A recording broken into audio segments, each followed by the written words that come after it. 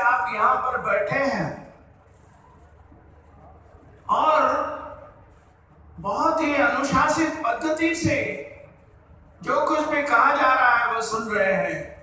इसके लिए मैं अपने ओर से और मंच पर बैठे हुए सारे साथियों की ओर से आप सब लोगों को सबसे पहले धन्यवाद देता हूँ। आपको सबसे पहले मैं अभिनंदन करता हूँ। दूसरा अभिनंदन मैं राहुल बजाज का करना चाहता हूँ।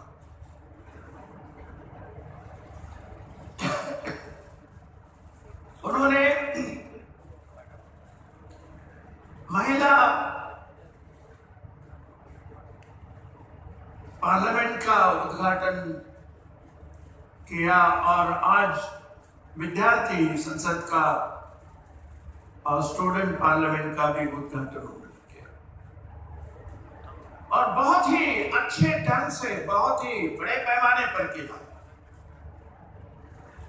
मैं यहाँ पर आने का टाल रहा था, उन्होंने बोला कि नहीं, आपको आना है।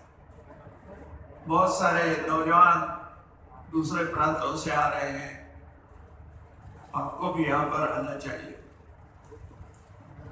उन्होंने जो ये काम किया है। इसका मतलब हमारे देश के सारे नौजवानों प्रांत से बाहर निकाल कर दूसरे प्रांतों में ले जाकर वहाँ पर क्या होता है? वहाँ की ज़मीन कैसी है? वहाँ के लोग कैसे हैं? वहाँ के लोग क्या सोचते हैं?